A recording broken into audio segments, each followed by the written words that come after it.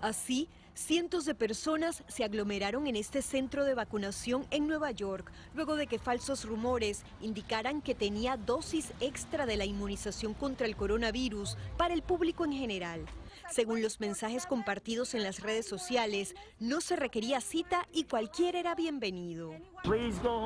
Váyanse a sus casas, les dijo este agente de la policía, mientras aclaraba que no era verdad lo que habían escuchado.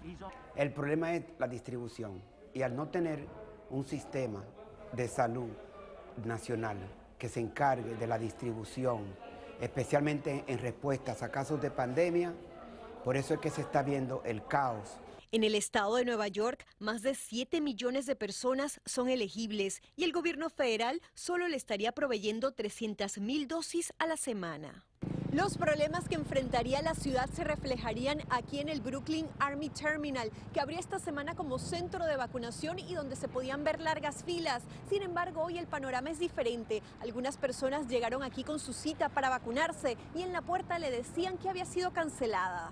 Este fue el caso de Gisela Palavís.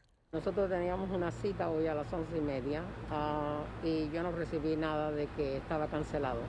Ahora me dijeron que van a mandar una email diciendo cuándo es la nueva cita. Varios hospitales también habrían cancelado citas mientras reina la confusión entre quienes buscan información. Traté de hacerlo por online, pero no he podido escuché que aquí lo podían hacer para las personas que teníamos problemas. Ellos dicen que no.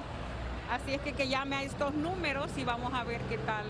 El alcalde Bill Blasio advirtió que si no reciben dosis extra podrían enfrentar una escasez de vacunas la próxima semana. En la ciudad de Nueva York, Peggy Carranza, Univisión.